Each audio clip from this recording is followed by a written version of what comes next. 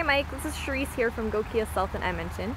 In front of me I have our 2013 Lexus ES350. So this is going to be the technology package and this is the highest trim level that you can get within Lexus um, for the ES350 anyways, currently in 2013.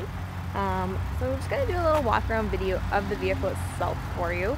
I guess we might as well start by looking underneath the hood. I already popped this open here for us. So you have your 3.3 liter engine, V6 engine under here as well. Um, your output is going to be 268 horsepower. It has a very nice feel when, when you're driving on the road. It has just enough torque and just enough horsepower combination to make it feel like a very luxurious drive. You do have some really beautiful headlights here with LEDs and you do have your fog lights as well. Now, since you're in Winnipeg, I just wanted to do a video that shows literally everything on the vehicle. So I'm to show you this here. It's kind of hard to see these things in person, but I just want to make sure that you're aware of everything. So there's a little tiny scuff right on the front of the bumper here. Um, it's plastic, so there's no worries when you're looking at the front of a vehicle. It's always polyurethane plastic, um, front and rear bumpers. And now we're to look along here. You have your front parking sensors, beautiful Lexus badge as well. And there is a small crack here in the bottom part of the grille. So there's gonna be that. And then just this right here as well has hairline fractures on it. So, like I said, I know some people would never notice that looking at it from here. Probably not gonna notice it, but since we're working over the phone, I wanna make sure everything is straightforward here for you. And just a small scratch there as well. You do have the 3M on the hood, so it's been protected from rocks. I don't know if you can see that little seam It goes all the way down and around. Um, so that'll help you out quite a bit. And then it's to be on the fender and the hood. And then looking over here, so your tires, so you're gonna have, this is gonna be the 230 seconds, I believe, on the front is what it was. Now you're curious about road um, rim rash, so there's been a little bit of rubbing on this wheel. This is definitely the worst one. Um, you can take a look at that and we can definitely see what we can do about that. There is ways to polish it out and make it look very shiny and brand new if that's something you desire, if that's important to you, or if you curb your rims, then you don't really want to do that. Um, signal light on your mirror. Looking along the passenger side, it's in beautiful shape. And then we'll open up the door here just to show you the interior. So on the passenger side, you have memory seat settings for three different customizations. You have your power seat, fully adjustable, rubber floor mats on all parts of the vehicle as well. And then looking through the dash, beautiful trim all the way through. That matches up with the doors as well, the wood grain.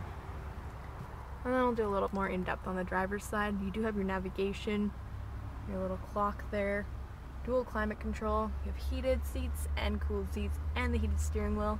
This other little button right there, that's going to be to adjust your rear shade. Um, so it covers the rear window. Um, I'm going to pop out here. You do have tint on there as well. It's just actually fairly subtle on the front, a little bit darker on the back. Have a 3M protectant just right here and on this side as well. I'm looking into the back seat. You have your rear sunshade that pops up and that just clicks up there. And then you can also adjust this one here separately. You want a little window. Um, if you have any passengers or pets in the back, it definitely helps block anything or personal belongings that you want extra extra privacy for. Uh, looking down here, you do have your vents in the rear of the seats for air, as well as right there. Rubber mats all throughout the vehicle, and then you have your 12 volt plug-in. And looking here, you have full leather all the way around on all the front and the back seats. You also have your cup holders that fold down. You just open that up there, and you have a pass-through. Now, it's kind of cool. You have dual sunroof, so you have front and rear sunroof. And this is going to be your rear sunshade that is power adjustable. So that's going to be the button on the front that I just showed you. Now we're going to take a look at this tire here as well. So that's going to be your um, passenger side rear tire. So it's going to be more tread on this one. You have about 4 30 seconds. And this one's curved a little bit as well. They missed a couple spots. Um, the rims themselves are in fabulous shape. It's just going to be along the sides that do have that road rash tiny little scuffs there. Those ones, I didn't even notice those before. Um, wandering around to the rear as well, you actually do have the power tailgate. So if it's not locked, I can actually open it up. Let me unlock that for us just so we can go through that. So we can actually pop the trunk from right there or the key fob. So looking into the back here, you have that rear pass through. Um, and then as well, you just have a couple different pieces. Rear license plate or front license plate holder. It's a little cargo net that goes across if you'd like it. Um, and then just random, random little pieces of equipment for the vehicle if you want those. And I'm looking underneath here, your whole entire setup for the spare tire changing if you desire to change your own spare tire. And then to close up the tailgate, I'm just gonna push close, pops on closed, and it's pretty, pretty simple from there. Um, you do have your dual exhaust, looks super sporty. You have a rear backup camera as well as the pack, um, backup sensors. Just wandering around to this side here. And take a look at this tire. Um, they definitely missed a couple more road um, rims, um, curves of this on their rim. This side clean, a little bit of rash. Other than that, you're gonna be all good. And then your tires are 18 inches well, so they're not gonna be outrageously expensive if there's any ever anything. This is the one paint stuff I was thinking of that we might want to fix for you. It's just in the it's in the paint, it's not through the paint, so that'd be a fairly easy fix. And then looking around to the driver's side, tire is very clean. Tiny little chunk out there, but other than that, it's going to be all the all clean, all fresh, all new.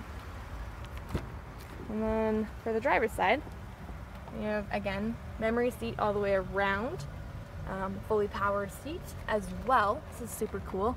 You can actually adjust the end of the seat to make it more customizable to how long your legs are. So I find that super comfortable because I'm short. I find seats are often too long for me. So it's definitely as helpful for myself and any tall person I'm sure as well.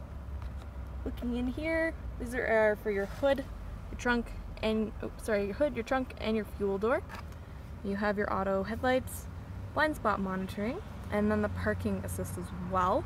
Um, and then your mirrors adjustment. And I'm looking on the steering wheel here, here. So right in here, you have your radar ready for your smart cruise, as well you have your lane departure symbols going on on the sides, waiting for you to be on the road. Um, I'm gonna do a separate video with a coworker here, just so you can see how that does work on the road as well.